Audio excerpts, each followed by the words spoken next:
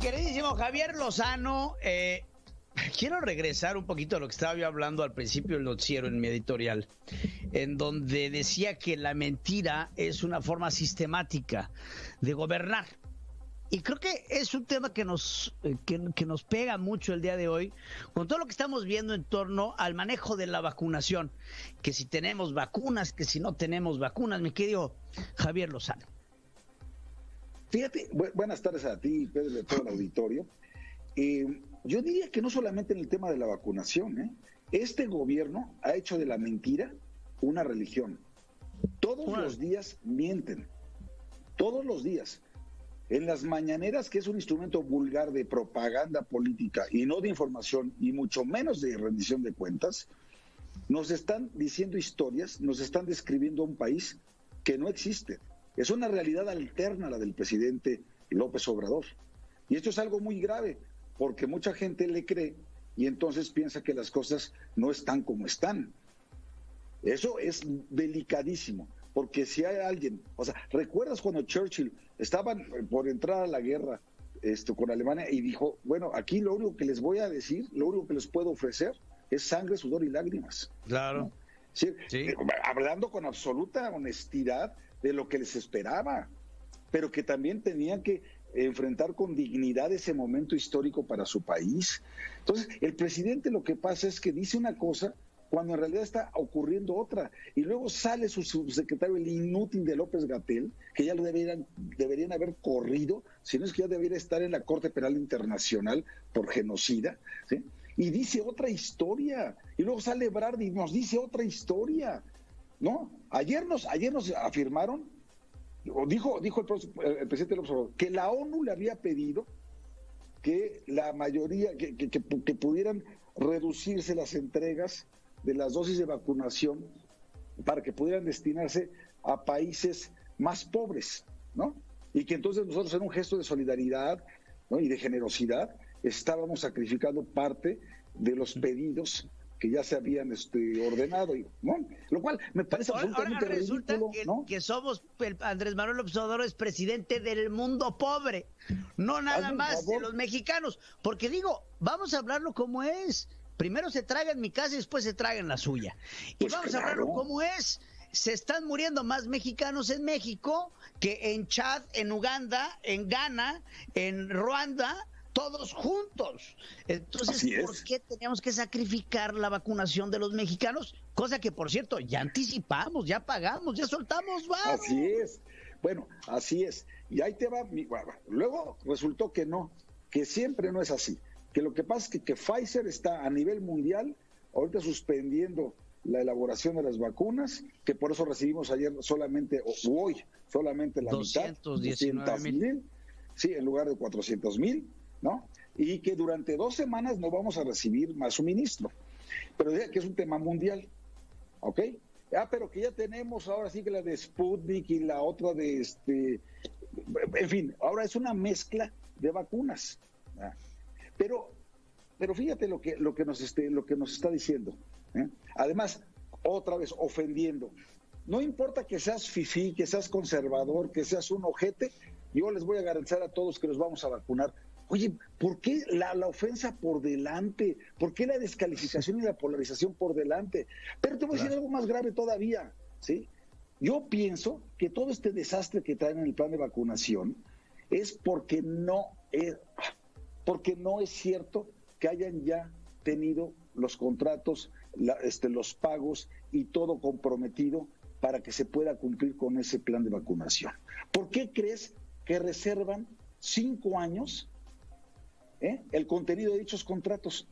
¿Por qué tendrían que reservar por cinco años el contenido de unos contratos que son de interés público? Eso sí, eso sí, la información clasificada que les dio la DEA para el caso del general Salvador Cienfuegos, eso sí lo dieron a conocer sin que nadie se los pidiera. O sea, información clasificada, secreta, de otro país, esa sí la revelan. Información sobre los contratos que tenemos supuestamente ya propalados para la compra de nuestras vacunas, esos los reservan cinco años. ¿Te, parece, eh, ¿Te parece lógico? ¿Te parece es que, es que nos están escondiendo el hecho de que con Pfizer, si bueno, tampoco quieren que veamos la comisión que se llevaron los negociadores. Pues sí, Pues Digo, pues ahí hay, ahí, ahí todo lo que escurre es miel, ¿no? Pues Entonces, bien tienes razón, dan a conocer eh, documentos con sello de confidencial, Javier. Sí. Con sello de confidencial. Este, for your eyes only. Y bajo la indignación del Departamento de Justicia. Y ahora se preocupan mucho por lo que diga Pfizer por el precio de la vacuna. Digo, no creo que Pfizer le esté jugando al ojo y al ratón, al gato y al ratón con el precio de las vacunas con los otros estados nación. No, no, no, por supuesto que no. Y además hay dos elementos, dos elementos adicionales. Uno, ya salió Enrique Vargas, el presidente municipal de Huizquilucan, a decir, yo tengo dinero, aquí tengo por lo menos 10 millones de pesos para comprar vacunas, voy a conseguir más dinero, tengo un refrigerador buenísimo, a mí no se me van a echar a perder, y tengo también una capacidad para poder desplegar las brigadas necesarias a efecto de poder hacer la vacunación. Ese de Huizquilucan, ¿no? Es Huizquilucan, ya lo presentó por escrito, no le han respondido, y no tendrían por qué negárselo. Si tiene el dinero, tiene el refrigerador, tiene la capacidad y tiene la voluntad, ¿sí? ¿Por qué no le permiten hacerlo? Uno, dos, ya salió Martín Orozco, gobernador de Aguascalientes, ¿sí? Para decir, nosotros también queremos hacer esto en Aguascalientes. Tenemos el dinero y la capacidad. Y ahora los gobernadores que están asociados de Acción Nacional ya respaldaron la petición de Martín eh, Orozco y dice, necesitamos conocer bien este plan, porque no nos podemos quedar con los brazos cruzados. Es más, el sector privado ya se ofreció, porque además, a, ver, si un dueño de una empresa, ¿sí? el que quieras, tiene dinero para comprar las vacunas, él las paga para entregárselas, para aplicárselas a su personal, a sus familias, para que regresen a trabajar con seguridad, ¿por qué no hacerlo? Como lo están haciendo en Estados Unidos, en el Reino Unido y estamos utilizando la vacuna para fines electorales y tienes que saber que la vacuna tiene un favor atrás y que es el de tu voto. O sea, Exactamente vas a ver, en cuanto entre Joseph Biden a la presidencia de Estados Unidos, vamos a empezar a ver campañas de vacunación masiva, sin importar la edad ni el sexo. Venga, órale, pam, pam, pam, pam, a todos, porque así se tiene que hacer, a todos. Eh, Viste que dijo que va a aplicar 100 millones de vacunas en los 100 primeros días, o sea, va a ser una locura. Pero ahorita tú llegas en Estados Unidos, llegas a, a, Walgreens, a CVS, a cualquiera de estas farmacias, te anotas, ¿sí? y ya puedes ir por tu vacunación y te cuesta 22 dólares. Ya empieza a haber un proceso de, de, reserva de, citas para que, en el momento en que sea pertinente, yo he visto gente que, ya, que ya se está vacunando aquí en los Estados Unidos y estoy viendo un modo acelerado en el que lo están haciendo. Vimos un experimento en el, en el estadio de Arizona eh, que se me hizo muy interesante, con donde los coches iban y así como llegaban, como el auto sardina de Reino Aventura y vámonos. Y oye, y cuesta 22 dólares. El que tenga los 22 dólares, me cae que los puede pagar, ¿por qué no? A veces, es que esto va a ser universal y gratuito. yo no lo quiero universal y gratuito. para mí, yo preferiría pagar y que me toque antes, ¿verdad? Si puedo pagar. Ahora, si no puedes, que ahí esté el Estado subsidiariamente para que ya te lo está pasando lo que se esperaba que iba a pasar ya el, el ISTE de Morelos reporta el robo de un cargamento de vacunas. ¿Qué? No, y bueno, Seguro han de ser guachicoleros, cabrón. Sí, sí, sí. Oye, y, no, pero, y hay algo que me parece todavía más grave, ¿sí? O bueno, o junto con, lo, con todo esto que realmente es grave. ¿eh? No tienen realmente madre el que estén vacunando primero a estos siervos de la traición.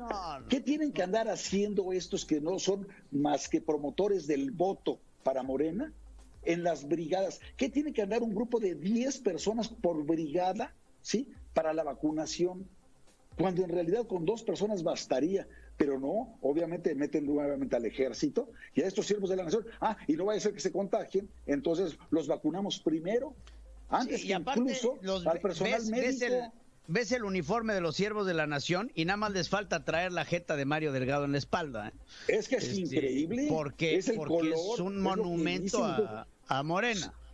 Oye, pero es que es estar, estar lucrando con la salud pública y además, mientras mucho del personal hospitalario, no digo solamente del personal médico, hospitalario, camilleros, enfermeras, esto, los que están ahí, los, los de los rayos X, todos los que están en la primera línea, ¿cómo es posible que no los hayan vacunado antes? Y que salga la diputada también de estos morenistas poblana, por cierto, qué vergüenza, ahora sí que yo siendo poblano, tener a la Nay Salvatori, ¿no? a decir a decir que por qué a los este los médicos de los hospitales privados los van a vacunar, que ellos no necesitan porque ahí cobran un chorro de dinero por, por tener a un enfermo. Hazme el favor, mano, ¿no? Entonces, pues tienen el monopolio. decir que que los iban a vacunar y que van a vacunar a los privados. Y se le olvida a Nay, como se llame, esta, este petardo de mujer, por no llamarle de otra forma, que hay un acuerdo con el, con el, con el grupo de hospitales privados que fue a firmar, no fue Olegario Vázquez a firmar el acuerdo ahí con sus representantes, con los hospitales privados.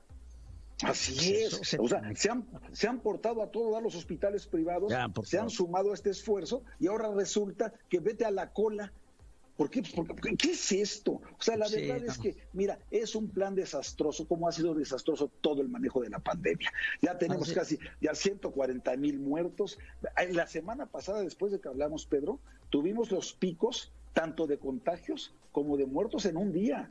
Es decir, el peor momento fue la semana pasada. Esto va a ser, esto y, no se ve cómo controlar. Cerraron restaurantes y la madre le dieron en la torre a la economía. ¿Cuántos restaurantes ya cerraron definitivamente sus puertas? 90 mil restaurantes. Y, no bajó, y no bajó el contagio. O sea, lo que no se están dando cuenta es que los focos no están ahí. Un restaurante es mucho más seguro y más higiénico para efectos de reunirse y consumir que estar 25 personas en una casa con las ventanas cerradas o con todos hacinados, chupando y haciendo no sé qué hasta qué horas. Por supuesto que es más fácil que se infecten. tratando de agarrar el metro en la Ciudad de México después de que quemaste de la línea la 1 a la 6, ¿no? Este, exactamente, tumbaste el metro. Entonces ahora los, los camiones estos de RTP y todos los peceros que están ayudando. Las Julias de la policía agarrando gente, ahí van colgados de diablito. Oye, ¿qué es esto? Esto, por eso la Ciudad de México y la zona metropolitana de la Ciudad de México le está yendo tan mal, porque planearon con las patas las cosas, empezando porque celebraron Vive Latino por ahí del 15 de marzo, cuando ya estaba, ya sabíamos oficialmente de esta pandemia. ¿eh? Y se ve que ya les habían dado su moche y dijeron, no podemos cancelar esto, ¿verdad? Desde ahí empieza la irresponsabilidad y empieza con el presidente que no quiere usar cubrebocas y empieza con el, López Gatel diciendo que esto era mucho menos peligroso que la influenza, ¿sí? O sea, nunca supieron realmente de qué se trataba y desorientaron a la gente. Y ahora sí, ya se les escapó todo de las manos. Y, y, el plan de vacunación, que lo quieren vender para fines electorales, pues tampoco está articulado. Entonces, esto va para largo, mi querido Pedro, esto va para largo y además está arrastrando hacia abajo la economía y el desempleo. Es muy mala noticia para los mexicanos tener en estos momentos tan duros para la República al peor gobierno posible. Que Totalmente de acuerdo. ¿Eh? Totalmente de acuerdo. Pues te mando un abrazo, mi querido Javier, y por supuesto, Gracias, mi querido. te recuerdo en saludarme a tus alumnos de la Universidad Libre de ah, Derecho. Lo hice, la, Escuela Libre de Derecho, los saludé la semana pasada y no sabes lo orgullosos que se sintieron. ¿eh? Les mucho cariño. ¿eh? Te mando un abrazo. Mi Pedro. Todo mi cariño, Javier Lozano.